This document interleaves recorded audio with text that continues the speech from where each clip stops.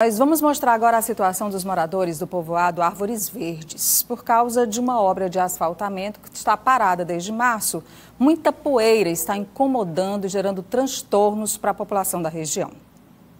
A extensão da Avenida Nicanor Barreto é considerada uma das principais vias da zona leste de Teresina, por fazer a ligação com a Cacimba Velha e outros importantes povoados da região. Mas os moradores enfrentam um drama. É que as obras do novo asfalto que estavam em andamento foram paralisadas na última segunda-feira, de acordo com relatos de populares, o que resultou inclusive no fechamento temporário de pequenos negócios.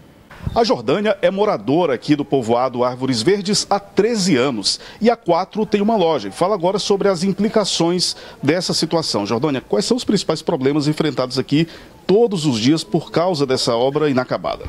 Pois é, né? A gente vem vivendo uma situação bem difícil é por conta da poeira, porque a obra iniciou-se em março e de lá para cá, né, durante o percurso, é, o carro-pipa já não tinha para aguar a estrada, para diminuir a quantidade de poeira.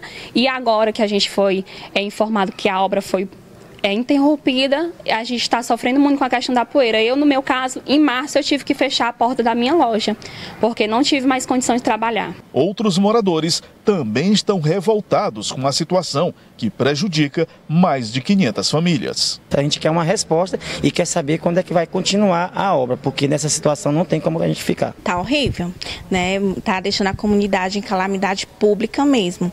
Começaram uma obra e não finalizaram. E muitas pessoas doentes, criança, adolescente. Tá complicado de mandar as crianças para a escola. Logo eu tenho duas crianças especial.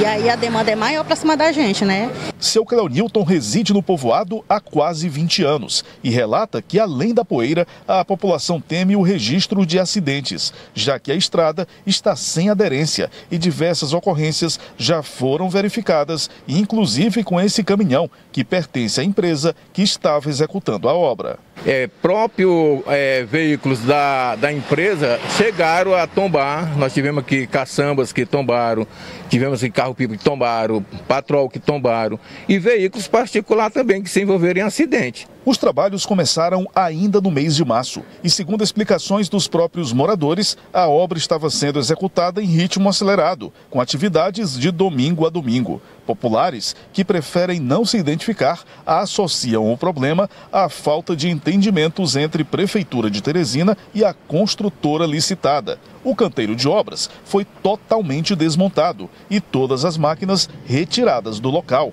Até mesmo as placas com informações sobre a obra foram recolhidas. Nossa equipe entrou em contato com a prefeitura, mas até o fechamento da reportagem, nenhuma informação foi repassada. Enquanto isso, os moradores clamam por providências.